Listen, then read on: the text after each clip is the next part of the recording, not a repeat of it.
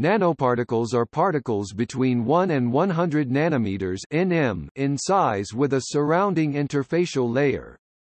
The interfacial layer is an integral part of nanoscale matter, fundamentally affecting all of its properties.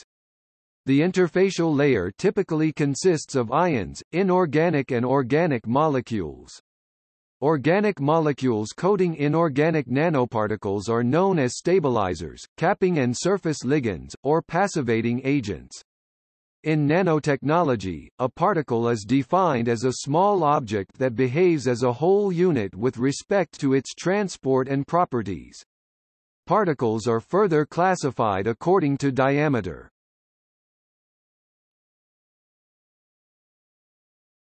Topic. Definition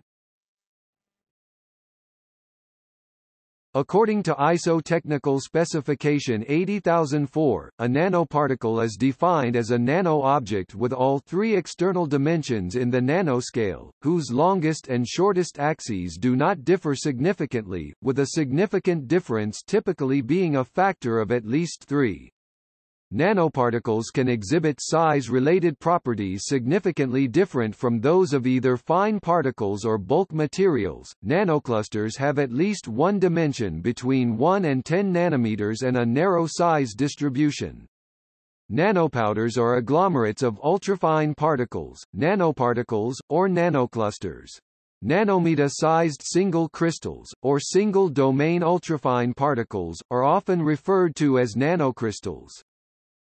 Ultrafine particles UFP are synonymous with nanoparticles and range between 1 and 100 nanometers in size, as opposed to fine particles sized between 100 and 2500 nanometers and coarse particles ranging from 2500 to 10000 nanometers.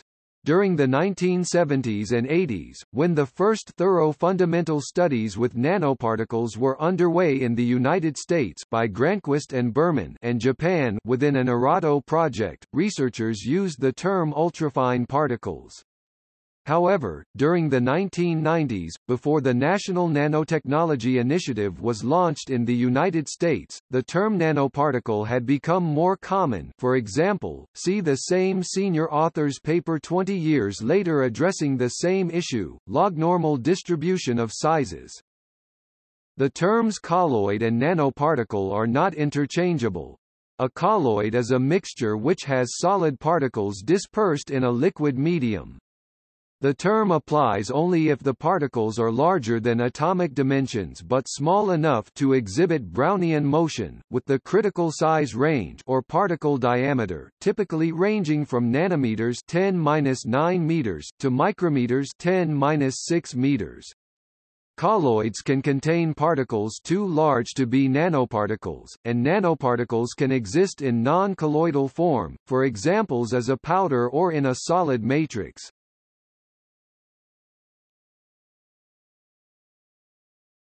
Topic: History. Although nanoparticles are associated with modern science, they have a long history. Nanoparticles were used by artisans as far back as Rome in the 4th century in the famous Lycurgus cup made of dichroic glass as well as the 9th century in Mesopotamia for creating a glittering effect on the surface of pots. In modern times, pottery from the Middle Ages and Renaissance often retains a distinct gold or copper-colored metallic glitter. This luster is caused by a metallic film that was applied to the transparent surface of a glazing. The luster can still be visible if the film has resisted atmospheric oxidation and other weathering. The luster originates within the film itself, which contains silver and copper nanoparticles dispersed homogeneously in the glassy matrix of the ceramic glaze. These nanoparticles are created by the artisans by adding copper and silver salts and oxides together with vinegar, ochre, and clay on the surface of previously glazed pottery. The object is then placed into a kiln and heated to about 600 degrees Celsius in a reducing atmosphere. In heat the glaze softens, causing the copper and silver ions to migrate into the outer layers of the glaze. There the reducing atmosphere reduced the ions back to metals, which then came together forming the nanoparticles that give the color and optical effects. Luster technique showed that ancient craftsmen had a sophisticated empirical knowledge of materials. The technique originated in the Muslim world.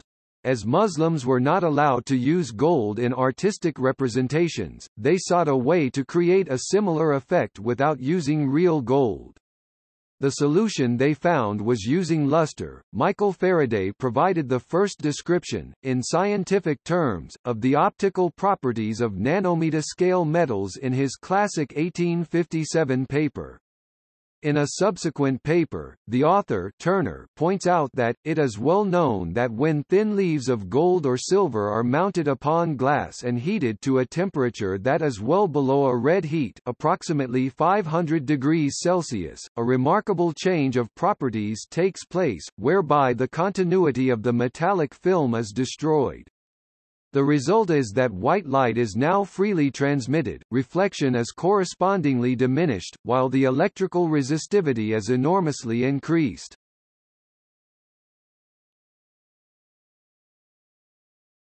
Topic. Properties Nanoparticles are of great scientific interest as they are, in effect, a bridge between bulk materials and atomic or molecular structures. A bulk material should have constant physical properties regardless of its size, but at the nanoscale, size-dependent properties are often observed. Thus, the properties of materials change as their size approaches the nanoscale and as the percentage of the surface in relation to the percentage of the volume of a material becomes significant. For bulk materials larger than 1 micrometer or micron, the percentage of the surface is insignificant in relation to the volume in the bulk of the material.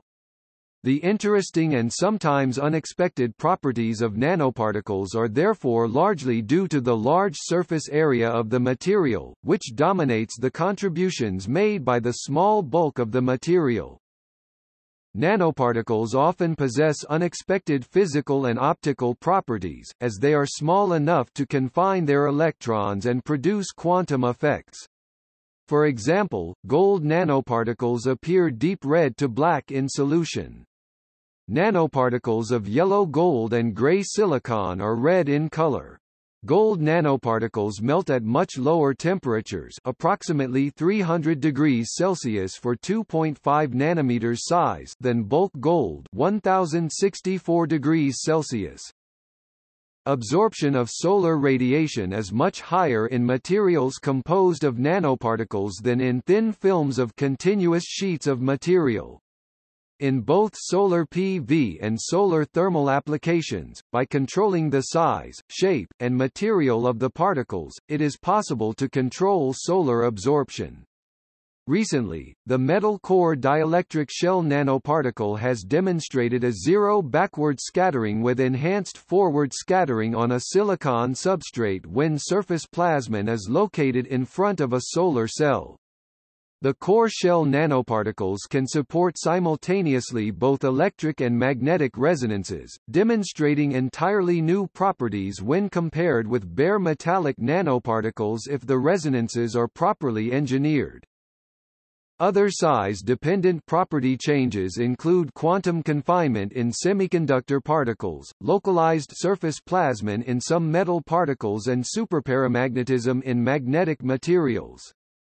Some changes in physical properties are not always desirable, for example, ferromagnetic materials smaller than 10 nanometers can switch their magnetization direction using room temperature thermal energy, thus making them unsuitable for memory storage. Suspensions of nanoparticles are possible since the interaction of the particle surface with the solvent is strong enough to overcome density differences, which otherwise usually result in a material either sinking or floating floating in a liquid.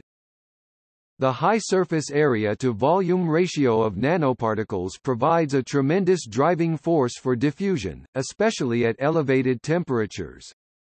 Sintering can take place at lower temperatures, over shorter time scales than for larger particles. In theory, this does not affect the density of the final product, though flow difficulties and the tendency of nanoparticles to agglomerate complicates matters. Moreover, nanoparticles have been found to impart some extra properties to various day-to-day -day products. For example, the presence of titanium dioxide nanoparticles imparts what is known as the self-cleaning effect, which lend useful water repellent and antibacterial properties to paints and other products. Zinc oxide nanoparticles have been found to have superior UV blocking properties and are widely used in the preparation of sunscreen lotions, being completely photostable though toxic. Clay nanoparticles when incorporated into polymer matrices increase reinforcement, leading to stronger plastics, verifiable by a higher glass transition temperature and other mechanical property tests. These nanoparticles are hard, and impart their properties to the polymer plastic. Nanoparticles have also been attached to textile fibers in order to create smart and functional clothing. Metal, dielectric, and semiconductor nanoparticles have been formed, as well as hybrid structures e.g., core shell nanoparticles. Nanoparticles made of semiconducting material may also be labeled quantum dots if they are small enough typically sub 10 nanometers that quantization of electronic energy levels occurs. Such nanoscale particles are used in biomedical applications as drug carriers or imaging agents with work being done to try to understand the fluid dynamic properties e.g. drag forces in nanoscale applications. This has shown the relationship between the fluid forces on nanoparticles and the fluid Reynolds and Knudsen numbers. Semi-solid and soft nanoparticles have been produced. A prototype nanoparticle of semi-solid nature is the liposome. Various types of liposome nanoparticles are currently used clinically as delivery systems for anti-cancer drugs and vaccines. Nanoparticles with one half hydrophilic and the other half hydrophobic are termed Janus particles and are particularly effective for stabilizing emulsions. They can self-assemble at water-oil interfaces and act as solid surfactants. Hydrogel nanoparticles made of N-isopropyl hydrogel core shell can be dyed with affinity baits, internally. These affinity baits allow the nanoparticles to isolate and remove undesirable proteins while enhancing the target analytes.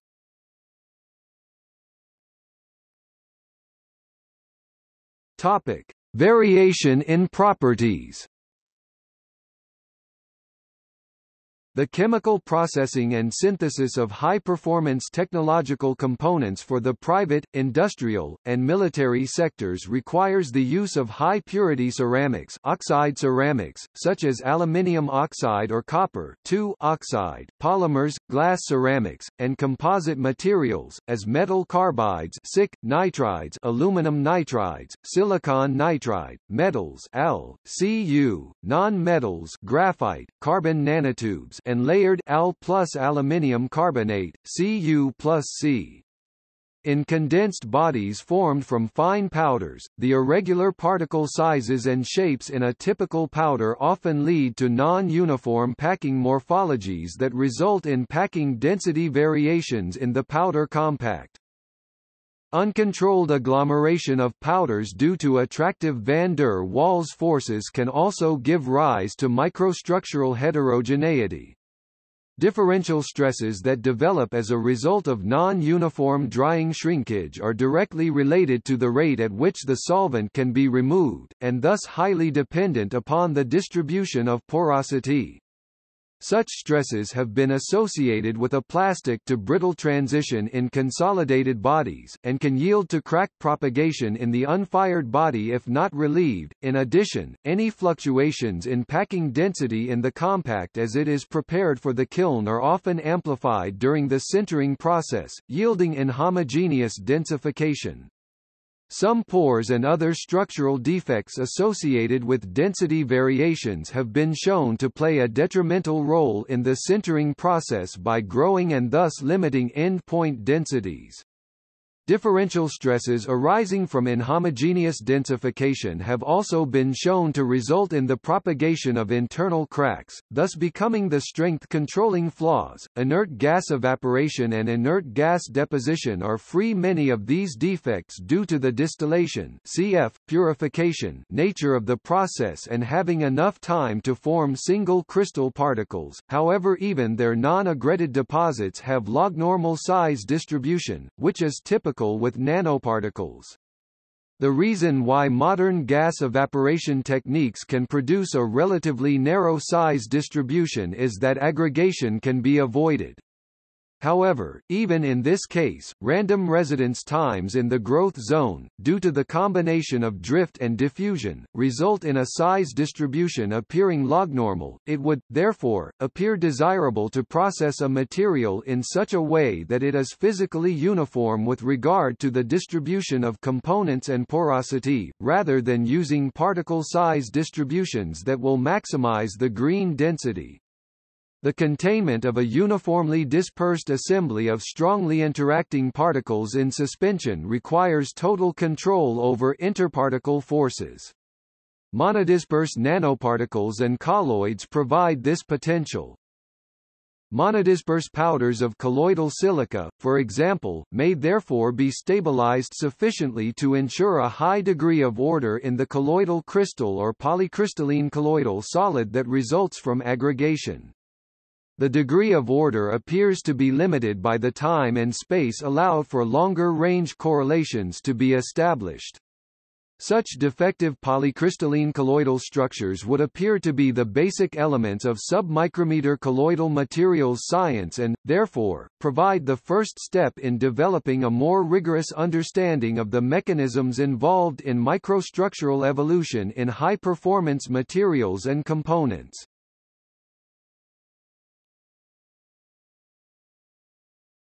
Topic: Synthesis.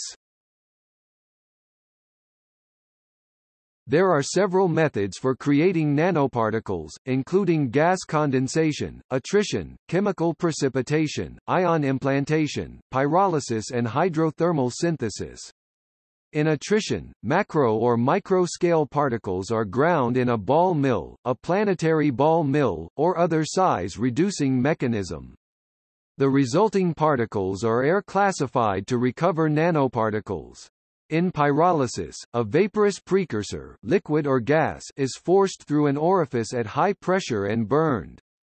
The resulting solid a version of soot is air-classified to recover oxide particles from byproduct gases. Traditional pyrolysis often results in aggregates and agglomerates rather than single primary particles. Ultrasonic nozzle spray pyrolysis USP on the other hand aids in preventing agglomerates from forming. A thermal plasma can deliver the energy to vaporize small micrometer-size particles. The thermal plasma temperatures are in the order of 10,000 K, so that solid powder easily evaporates. Nanoparticles are formed upon cooling while exiting the plasma region. The main types of the thermal plasma torches used to produce nanoparticles are DC plasma jet, DC arc plasma, and radio frequency RF induction plasmas. In the arc plasma reactors, the energy necessary for evaporation and reaction is provided by an electric arc formed between the anode and the cathode. For example, silica sand can be vaporized with an arc plasma at atmospheric pressure, or thin aluminum wires can be vaporized by exploding wire method. The resulting mixture of plasma gas and silica vapor can be rapidly cooled by quenching with oxygen, thus ensuring the quality of the fumed silica produced. In RF induction plasma torches, energy coupling to the plasma is accomplished through the electromagnetic field generated by the induction coil. The plasma gas does not come in contact with electrodes, thus eliminating possible sources of contamination and allowing the operation of such plasma torches with a wide range of gases including inert, reducing, oxidizing, and other corrosive atmospheres.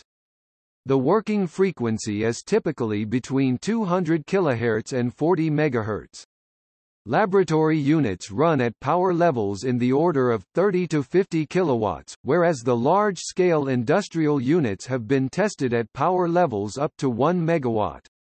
As the residence time of the injected feed droplets in the plasma is very short, it is important that the droplet sizes are small enough in order to obtain complete evaporation.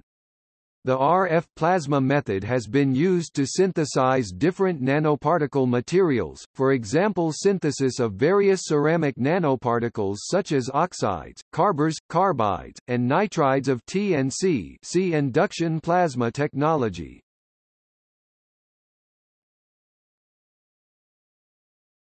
Topic. Inert gas condensation Inert gas condensation is frequently used to produce metallic nanoparticles. The metal is evaporated in a vacuum chamber containing a reduced atmosphere of an inert gas. Condensation of the supersaturated metal vapor results in creation of nanometer-size particles, which can be entrained in the inert gas stream and deposited on a substrate or studied in situ. Early studies were based on thermal evaporation. Using magnetron sputtering to create the metal vapor allows to achieve higher yields. The method can easily be generalized to alloy nanoparticles by choosing appropriate metallic targets. The use of sequential growth schemes, where the particles travel through a second metallic vapor, results in growth of core shell CS structures.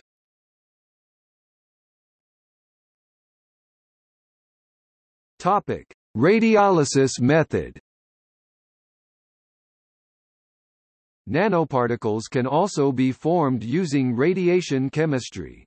Radiolysis from gamma rays can create strongly active free radicals in solution. This relatively simple technique uses a minimum number of chemicals. These including water, a soluble metallic salt, a radical scavenger often a secondary alcohol, and a surfactant organic capping agent. High gamma doses on the order of 104 gray are required. In this process, reducing radicals will drop metallic ions down to the zero valence state. A scavenger chemical will preferentially interact with oxidizing radicals to prevent the reoxidation of the metal.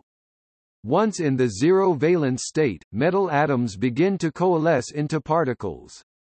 A chemical surfactant surrounds the particle during formation and regulates its growth. In sufficient concentrations, the surfactant molecules stay attached to the particle.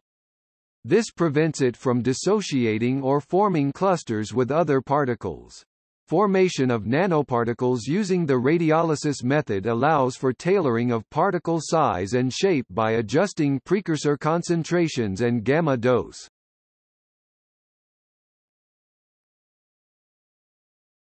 Topic: Sol gel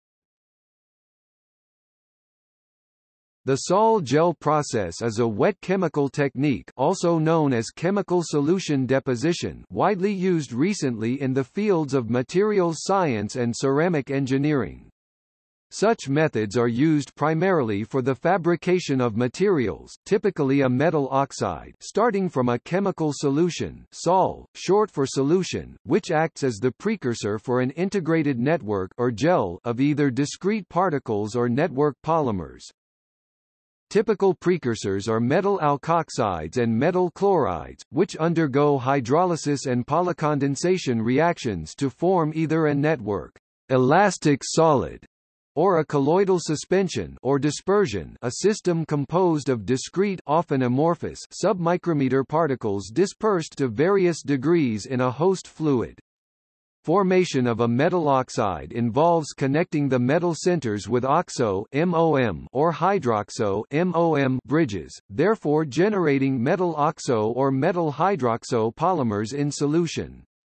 Thus, the sol evolves toward the formation of a gel-like diphasic system containing both a liquid phase and solid phase whose morphologies range from discrete particles to continuous polymer networks. In the case of the colloid, the volume fraction of particles or particle density may be so low that a significant amount of fluid may need to be removed initially for the gel-like properties to be recognized. This can be accomplished in a number of ways. The most simple method is to allow time for sedimentation to occur, and then pour off the remaining liquid. Centrifugation can also be used to accelerate the process of phase separation. Removal of the remaining liquid solvent phase requires a drying process, which typically causes shrinkage and densification. The rate at which the solvent can be removed is ultimately determined by the distribution of porosity in the gel. The ultimate microstructure of the final component will clearly be strongly influenced by changes implemented during this phase of processing. Afterward, a thermal treatment, or firing process, is often necessary in order to favor further polycondensation and enhance mechanical properties and structural stability via final sintering, densification, and grain growth. One of the distinct advantages of using this methodology as opposed to the more traditional processing techniques is that densification is often achieved at a much lower temperature. The precursor sol can be either deposited on a substrate to form a film e.g., by dip coating or spin coating, cast into a suitable container with the desired shape e.g., to obtain a monolithic ceramics, glasses, fibers, membranes, aerogels, or used to synthesize powders e.g., microspheres, nanospheres. The sol gel approach is a cheap and low-temperature technique that allows for the fine control of the product's chemical composition. Even small quantities of dopants, such as organic dyes and rare earth metals, can be introduced in the sol and end up uniformly dispersed in the final product. It can be used in ceramics processing and manufacturing as an investment casting material, or as a means of producing very thin films of metal oxides for various purposes. Sol gel-derived materials have diverse applications in optics, electronics, energy, space, bio, sensors, medicine e.g., controlled drug release and separation e.g., chromatography technology.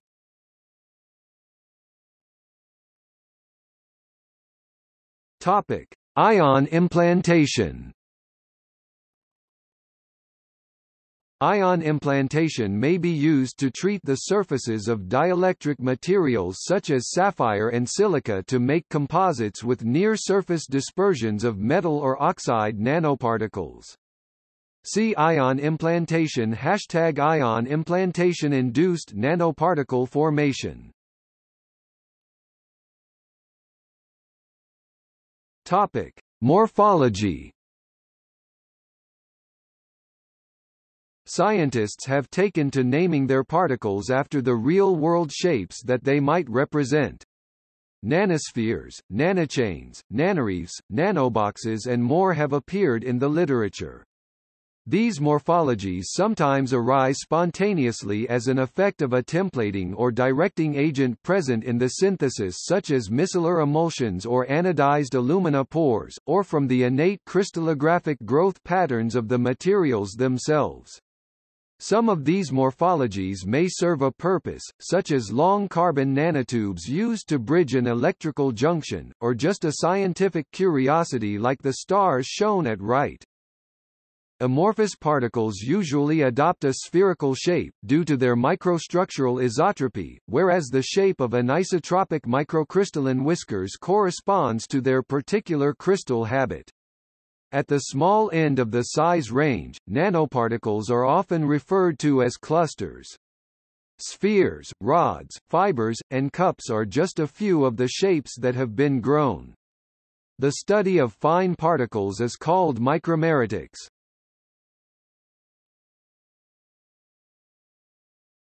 Topic: Characterization.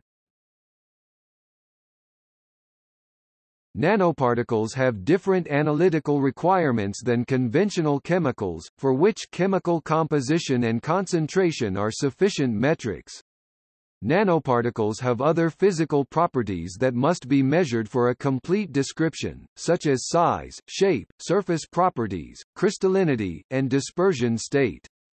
Additionally, sampling and laboratory procedures can perturb their dispersion state or bias the distribution of other properties. In environmental contexts, an additional challenge is that many methods cannot detect low concentrations of nanoparticles that may still have an adverse effect.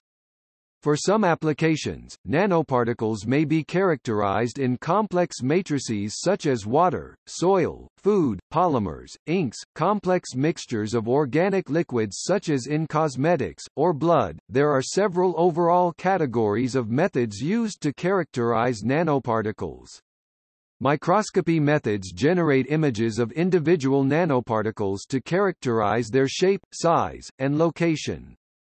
Electron microscopy and scanning probe microscopy are the dominant methods. Because nanoparticles have a size below the diffraction limit of visible light, conventional optical microscopy is not useful. Electron microscopes can be coupled to spectroscopic methods that can perform elemental analysis. Microscopy methods are destructive, and can be prone to undesirable artifacts from sample preparation, or from probe tip geometry in the case of scanning probe microscopy. Additionally, microscopy is based on single particle measurements, meaning that large numbers of individual particles must be characterized to estimate their bulk properties. Spectroscopy, which measures the particle's interaction with electromagnetic radiation as a function of wavelength, is useful for some classes of nanoparticles to characterize concentration, size, and shape. X-ray, ultraviolet visible, infrared, and nuclear magnetic resonance spectroscopy can be used with nanoparticles. Light scattering methods using laser light, X-rays, or neutron scattering are used to determine particle size, with each method suitable for different size ranges and particle compositions. Some miscellaneous methods are electrophoresis for surface charge, the Brunauer-Emmett-Teller method for surface area, and X-ray diffraction for crystal structure, as well as mass spectrometry for particle mass, and particle counters for particle number. Chromatography, centrifugation, and filtration techniques can be used to separate nanoparticles by size or other physical properties before or during characterization.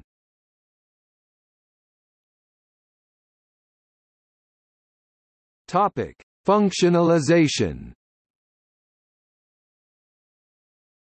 Functionalization is the introduction of organic molecules or polymers on the surface of the nanoparticle. The surface coating of nanoparticles determines many of their physical and chemical properties, notably stability, solubility, and targeting. A coating that is multivalent or polymeric confers high stability, Functionalized nanomaterial-based catalysts can be used for catalysis of many known organic reactions. An environmentally friendly and facile functionalization approach for synthesizing highly dispersed graphene was developed. In this approach, graphenes were functionalized covalently with gallic acid in a one-pot free radical grafting method. This cost-effective method could be used for industrial mass production.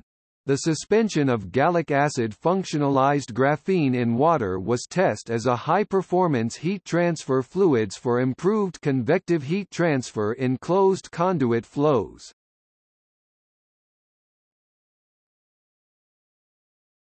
Topic: Surface coating for biological applications. For biological applications, the surface coating should be polar to give high aqueous solubility and prevent nanoparticle aggregation. In serum or on the cell surface, highly charged coatings promote non-specific binding, whereas polyethylene glycol linked to terminal hydroxyl or methoxy groups repel non-specific interactions. Nanoparticles can be linked to biological molecules that can act as address tags, to direct the nanoparticles to specific sites within the body, specific organelles within the cell, or to follow specifically the movement of individual protein or RNA molecules in living cells. Common address tags are monoclonal antibodies, aptamers, streptavidin or peptides. These targeting agents should ideally be covalently linked to the nanoparticle and should be present in a controlled number per nanoparticle. Multivalent nanoparticles, bearing multiple targeting groups, can cluster receptors, which can activate cellular signaling pathways, and give stronger anchoring. Monovalent nanoparticles, bearing a single binding site, avoid clustering and so are preferable for tracking the behavior of individual proteins. Red blood cell coatings can help nanoparticles evade the immune system.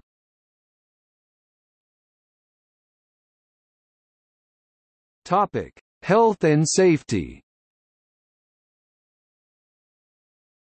Nanoparticles present possible dangers, both medically and environmentally. Most of these are due to the high surface-to-volume ratio, which can make the particles very reactive or catalytic.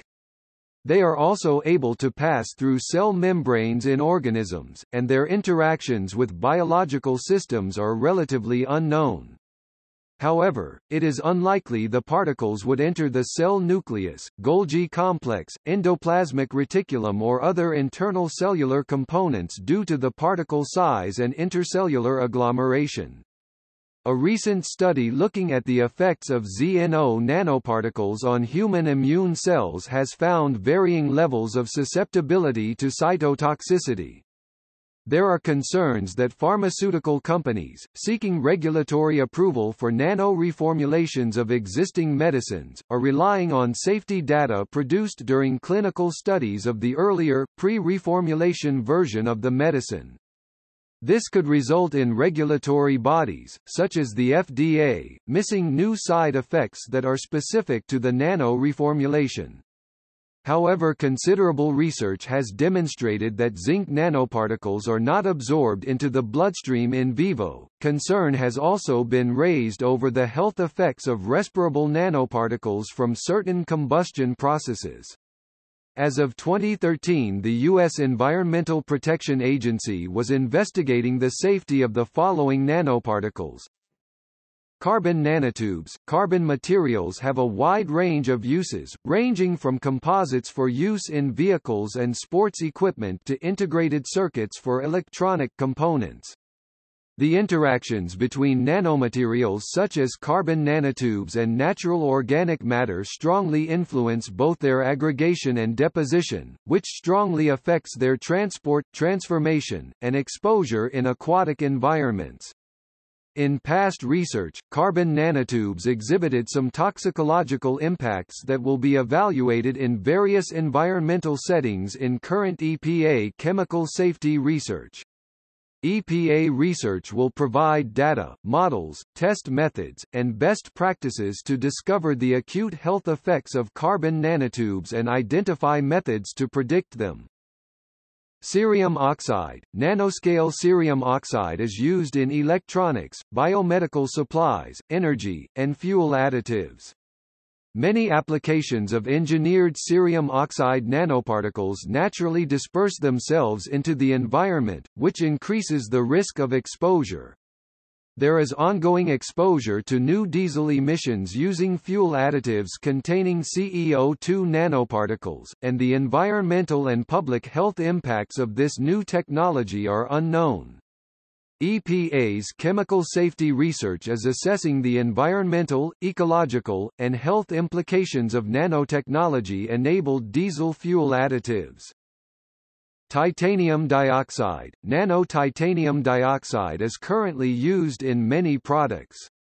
Depending on the type of particle, it may be found in sunscreens, cosmetics, and paints and coatings. It is also being investigated for use in removing contaminants from drinking water. Nano-silver Nano-silver is being incorporated into textiles, clothing, food packaging, and other materials to eliminate bacteria. EPA and the U.S. Consumer Product Safety Commission are studying certain products to see whether they transfer nano-size silver particles in real-world scenarios. EPA is researching this topic to better understand how much nano-silver children come in contact with in their environments.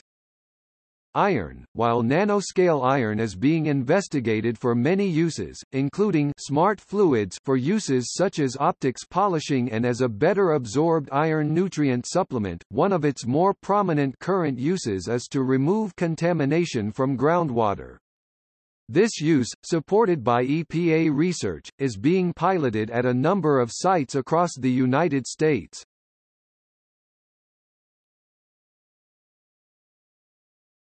Topic: Regulation. As of 2016, the U.S. Environmental Protection Agency had conditionally registered, for a period of four years, only two nanomaterial pesticides as ingredients.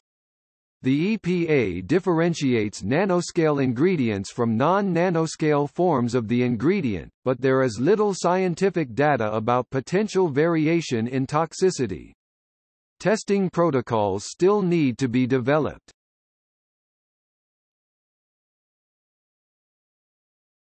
Topic: Applications.